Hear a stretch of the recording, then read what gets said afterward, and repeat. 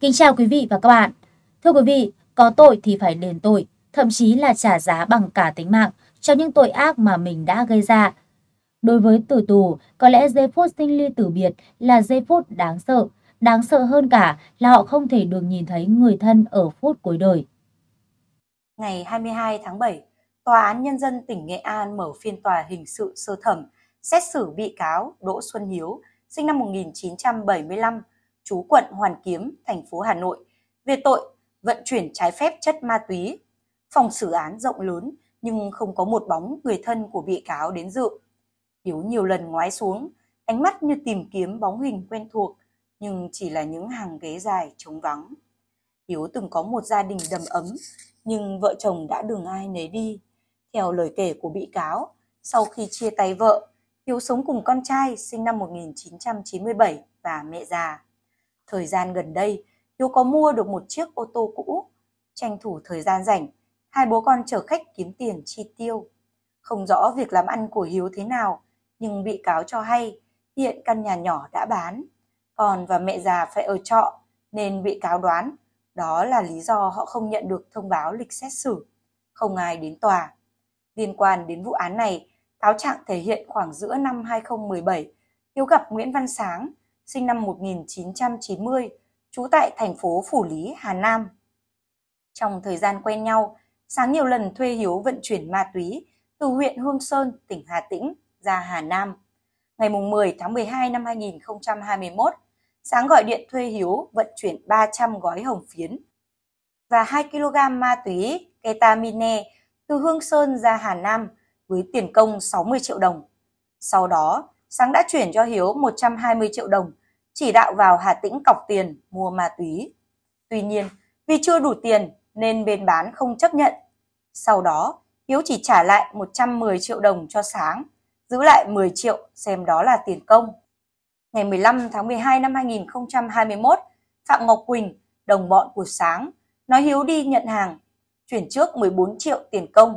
Hiếu vào thành phố Vinh thuê khách sạn để đợi lệnh nhưng sau đó đành quay ra Hà Nội vì chưa có ma túy. Ít ngày sau, Hiếu tiếp tục nhận lệnh vào khu vực cửa khẩu Cầu Treo, huyện Hương Sơn lấy ma túy. Lần này, Hiếu nhận thêm 6 triệu đồng tiền công. Như vậy, tổng số tiền công mà Hiếu đã nhận là 30 triệu đồng. Đêm 24 tháng 12 năm 2021, Hiếu lái xe ô tô vào thành phố Vinh, đồng thời gửi thêm xe máy để phục vụ việc lên khu vực biên giới lấy ma túy. 3 giờ sáng ngày 27 tháng 12, tại khu vực cửa khẩu cầu treo, Hiếu nhận một thùng xốp bên lề đường, bên trong có nhiều gói ma túy. Khi Hiếu vận chuyển hàng về thành phố Vinh thì bị công an Nghệ An bắt giữ cùng tăng vật là hơn 7,3 kg ma túy các loại. Tại phiên tòa, bị cáo thành khẩn khai báo và thừa nhận hành vi phạm tội. Bị cáo khai nhận trước đó đã mấy lần vận chuyển ma túy thuê cho Sáng. Đối với lần phạm tội này, bị cáo biện minh. Thời điểm đó dịch COVID-19, kiếm tiền khó nên bị cáo đã vận chuyển ma túy. Trước câu trả lời đó, tòa xét hỏi, bị cáo thừa nhận từng nhiều lần vận chuyển ma túy thuê. Vậy, liệu lời khai của bị cáo vì dịch bệnh có hợp lý hay không? Hiếu liền cúi mặt, lý nhí. Bị cáo sai rồi. Trong phần luận tội, đại diện Viện Kiểm sát thực hiện quyền công tố tại phiên tòa đã phân tích các căn cứ buộc tội, đánh giá tính chất, mức độ nguy hiểm cho xã hội mà hành vi phạm tội của bị cáo gây ra, đồng thời xem xét các yếu tố về nhân thân và các tình tiết tăng nặng, giảm nhẹ hình phạt của bị cáo, qua đó đề nghị mức án tử hình.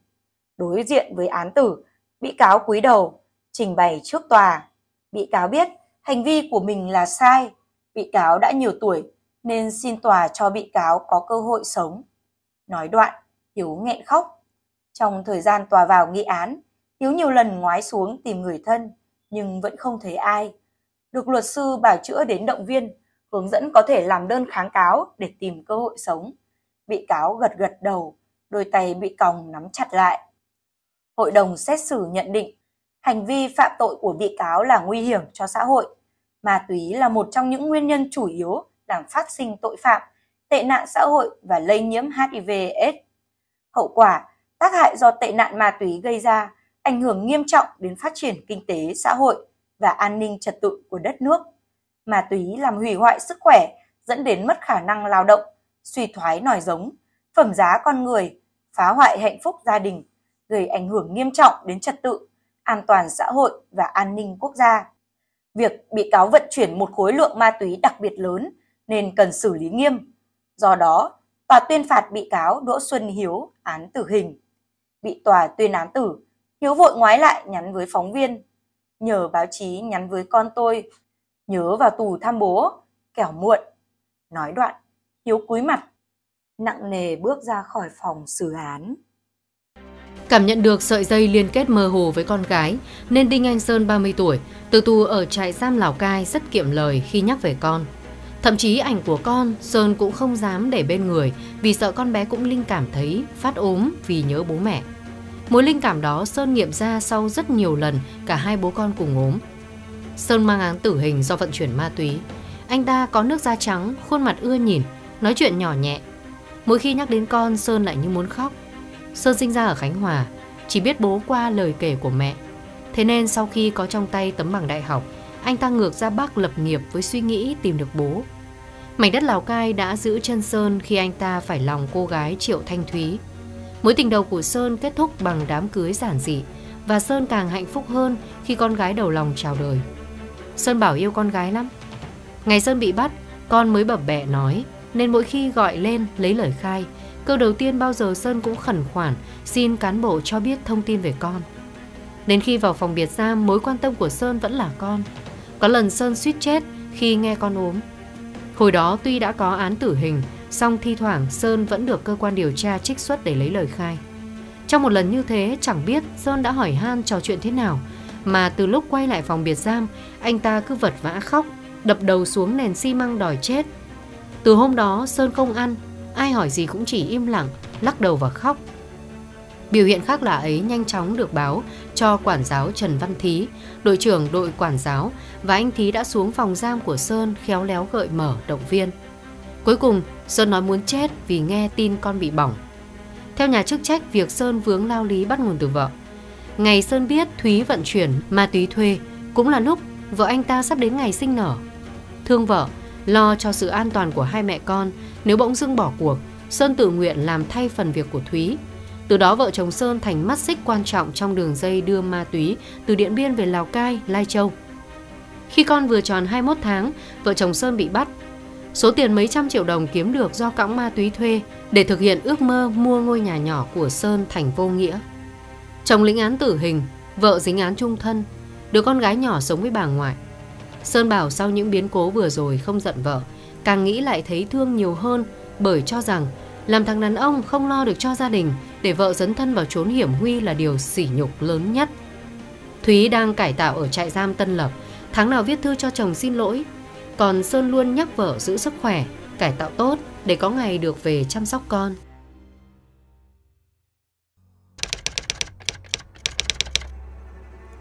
Từ trước đến nay, công tác canh giữ phạm nhân mang án tử hình luôn được thực hiện nghiêm ngặt. Bởi nơi đây có số lượng tử tù bị kết án, giam giữ thuộc vào diện nhiều nhất cả nước, với 32 đối tượng.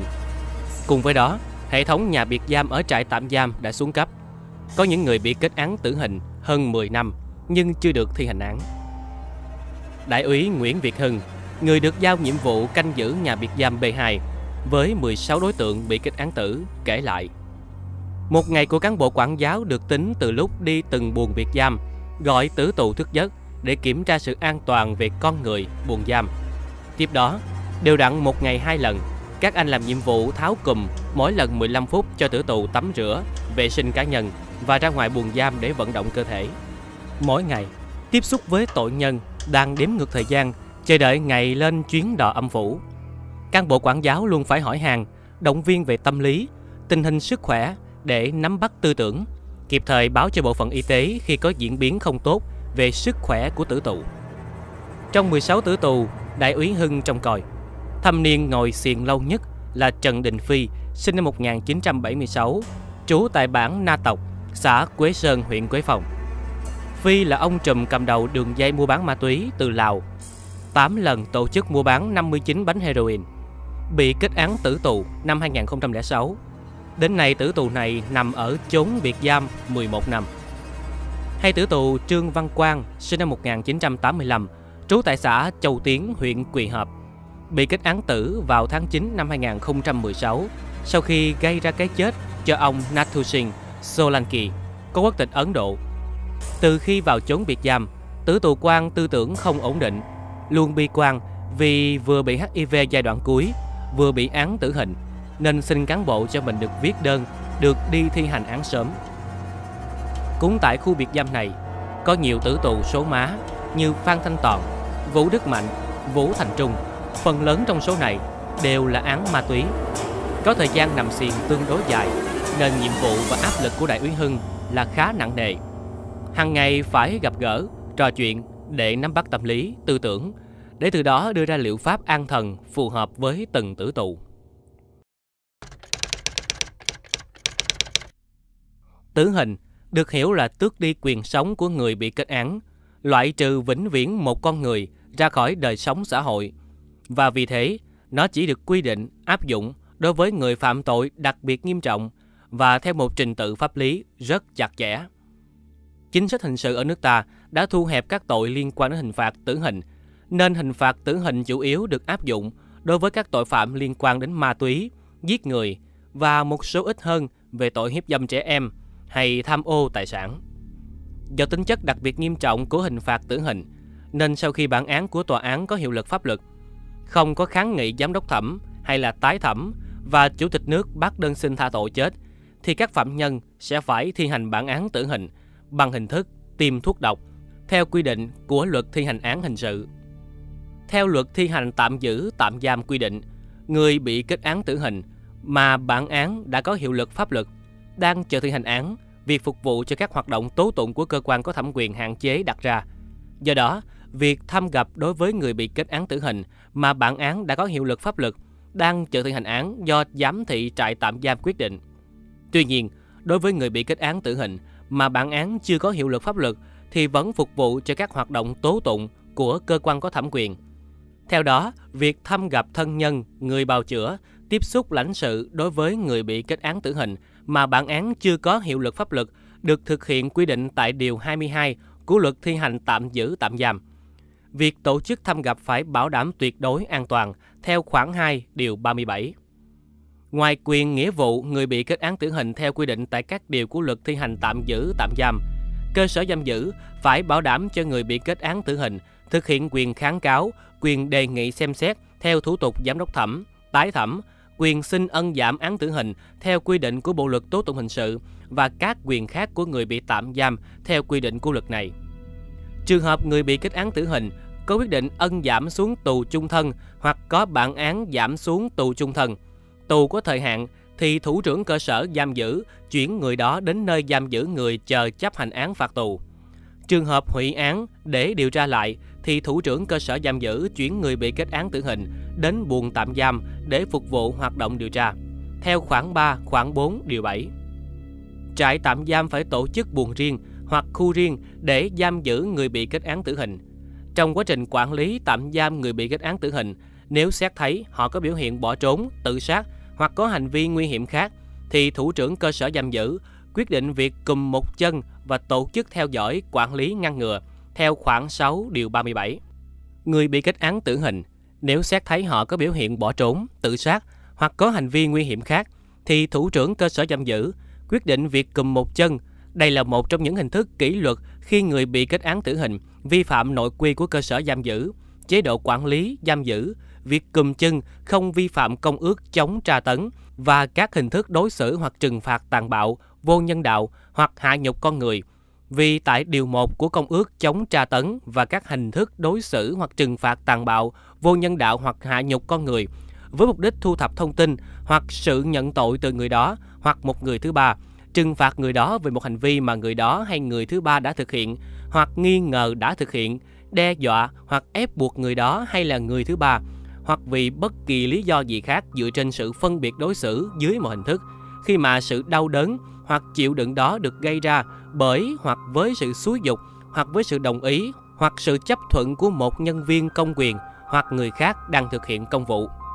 Khái niệm này không bao gồm sự đau đớn hoặc khổ sở là kết quả đương nhiên hoặc là ngẫu nhiên của các hình phạt hợp pháp theo điều 1 và bảo đảm thực hiện nguyên tắc quản lý thi hành tạm giữ tạm giam, bảo đảm nhân đạo không tra tấn, truy bức, dùng nhục hình hay bất kỳ hình thức đối xử nào xâm phạm quyền và lợi ích hợp pháp của người bị tạm giữ, người bị tạm giam tại khoản 3 điều 4 và không vi phạm những hành vi bị nghiêm cấm như tra tấn, truy bức, dùng nhục hình, các hình thức đối xử trừng phạt tàn bạo vô nhân đạo, hạ nhục con người hoặc bất kỳ hình thức xâm phạm nào khác đến quyền và lợi ích hợp pháp của người bị tạm giữ hoặc người bị tạm giam tại khoản 1 điều 8.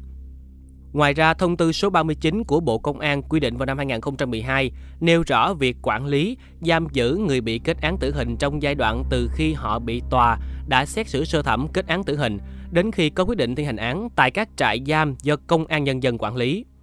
Theo thông tư, trại tạm giam phải tổ chức khu vực riêng để giam người bị kết án tử hình và phải có biển ghi rõ là khu giam người bị kết án tử hình.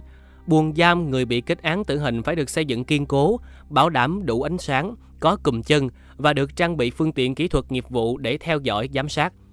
Mọi sinh hoạt của người bị kết án tử hình đều được thực hiện trong buồng giam. Trường hợp người bị kết án tử hình có biểu hiện tự sát, chống phá, trốn khỏi nơi giam hoặc có hành vi nguy hiểm khác thì có thể bị cùm một chân cả ngày và mỗi tuần được đổi chân cùm ít nhất một lần. Mỗi ngày được mở cùm chân một lần, mỗi lần không quá 15 phút để người kết án tử hình đi làm vệ sinh cá nhân. Trước khi mở cùm chân, phải được sự đồng ý của giám thị trại tạm giam. Khi cán bộ quản giáo mở cùm chân, phải có cán bộ hoặc là chiến sĩ vũ trang bảo vệ giám sát chặt chẽ giám thị trại tạm giam phải áp dụng các biện pháp nghiệp vụ, kỹ thuật để chủ động phát hiện, ngăn chặn kịp thời người bị kết án tử hình, trốn hoặc là tự sát cũng như là có hành vi nguy hiểm khác. Cùng với đó, giám thị trại tạm giam phải có kế hoạch, biện pháp giáo dục, động viên tư tưởng đối với người bị kết án tử hình để họ chấp hành nghiêm nội quy trại tạm giam, nhận rõ tội lỗi, tích cực tố giác tội phạm để được hưởng chính sách khoan hồng, nhân đạo của đảng và nhà nước. Trại tạm giam phải bảo đảm quyền khiếu nại, tố cáo, quyền kháng cáo, quyền xin ân giảm án tử hình của người bị kết án tử hình theo đúng quy định của pháp luật. Khi người bị kết án tử hình có đủ điều kiện được ân giảm, chuyển từ hình phạt tử hình thành tù trung thân, theo quy định tại Điều 35 Bộ Luật Hình sự năm 1999, thì giám thị trại tạm giam phải thông báo ngay bằng văn bản cho chánh án tòa án đã xét xử sơ thẩm vụ án biết để giải quyết theo thẩm quyền. Những thông tin trên cũng đã khép lại chương trình của chúng tôi ngày hôm nay. Cảm ơn quý vị và các bạn đã quan tâm theo dõi. Xin kính chào và hẹn gặp lại trong những video tiếp theo.